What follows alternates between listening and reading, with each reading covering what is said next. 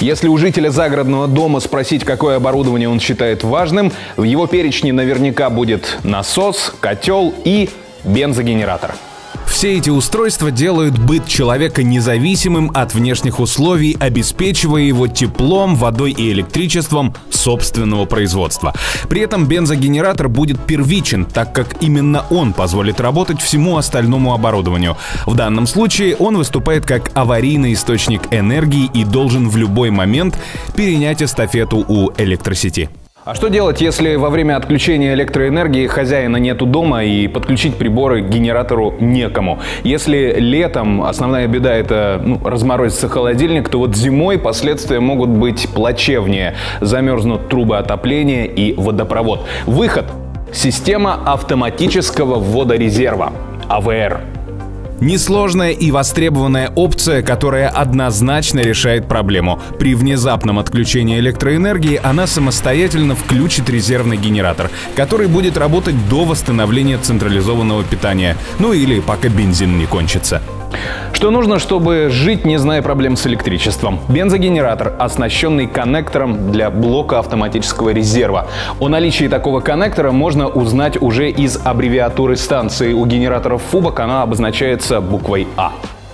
Аббревиатура АВР расшифровывается как блок автоматического ввода резерва. Под резервом подразумевается бензогенератор. Блок контролирует наличие напряжения в стационарной сети и в случае аварийной ситуации самостоятельно в считанные секунды запускает подключенный к нему бензогенератор, восстанавливая электроснабжение работающих приборов. Существуют и такие умные блоки АВР с режимом зима-лето. В зимний период он прогревает движок генератора перед тем, как подать подать нагрузку. Важно знать, что для трехфазных генераторов одни блоки, для однофазных другие. Есть нюансы по подключению и подробнее обо всем этом мы расскажем далее. Блок автоматики с виду — небольшой прибор в металлическом корпусе, который просто можно закрепить в удобном месте на стене. В комплекте к нему специальный длинный кабель управления, к которому он подсоединяется к генератору. Правда, длина этого кабеля у некоторых производителей только 2 метра. У фубок намного больше — 8 метров. Такой длины наверняка хватит, чтобы расположить блок в любом удобном для вас месте. Вся индикация о режимах и кнопки управления на передней панели блока. Давайте посмотрим, как это работает. На АВР есть два режима — ручной и автоматический. Ручной режим. При отключении энергии нужно самому переключить блок на электростанцию.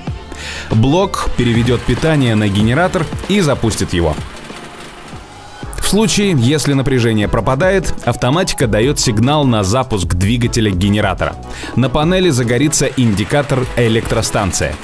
Если подробнее, то блок дает сигнал двигателю. Через 3-4 секунды он запускается и прогревается.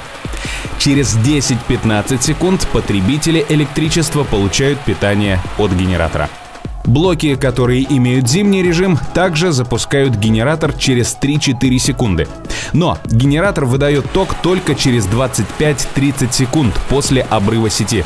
Эти самые плюс 15 секунд уходят на прогрев двигателя, защищая его от лишнего износа в холодное время.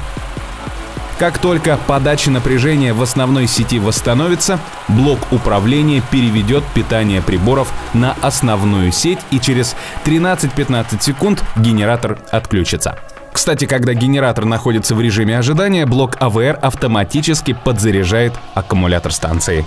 Как подключить блок управления? Самый верный способ — это доверить такую работу профессиональному электрику. Самостоятельно это довольно сложно. Но разобраться, конечно, можно. И если уж решили сделать все сами, дадим рекомендации по подключению. Принцип установки таков. Блок автоматики можно установить как в доме, так и рядом с генератором. Главное соблюдать температурный режим, который указан в инструкции по эксплуатации. Второе. На блок АВР выводится одна или несколько фаз от стационарной сети, которая заходит в дом. Третье.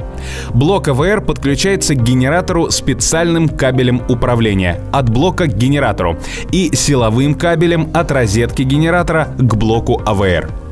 Надо учесть, что в подключении фаз от стационарной сети возможны варианты. Идеальным будет такой. В дом заведена однофазная сеть, и все подключаемые приборы тоже однофазные. Мощности станции хватает для обеспечения всех нужных вам приборов.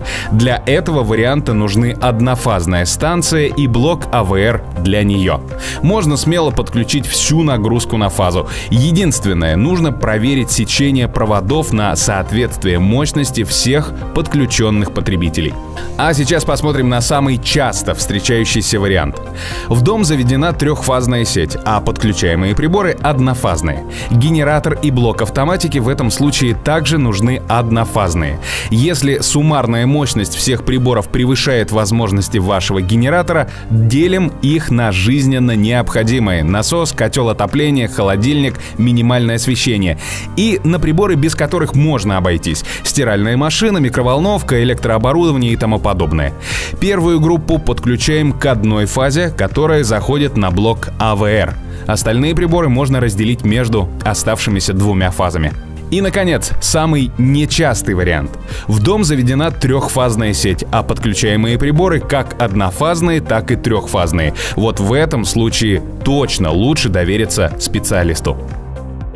Пару слов о заземлении. Работа бензогенератора подразумевает, что на его корпусе будет возникать статическое напряжение. Чтобы его отвести, будем генератор заземлять.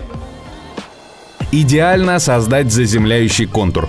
Если его нет, можно обойтись простейшим способом. Понадобится металлический прут 1,5-2 метра и медный провод. Прут на всю длину забивается в землю, а медный провод перекидывается между болтом и рамой генератора. Готово. Бывает так, что владелец генератора не заморачивается и перекидывает питание от генератора к ближайшей розетке и запитывает от нее весь дом. Почему так делать нельзя? Первое. Перегрузка провода. Стандартное сечение просто не рассчитано на такую нагрузку. Второе. Человеческий фактор.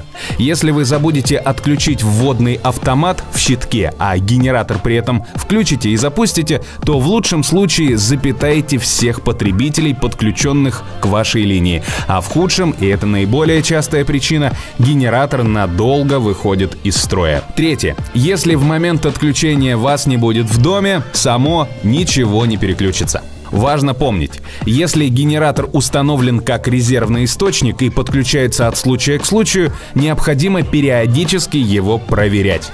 Первое. Запускайте генератор с включенной автоматикой на 15-20 минут хотя бы раз в месяц. Второе.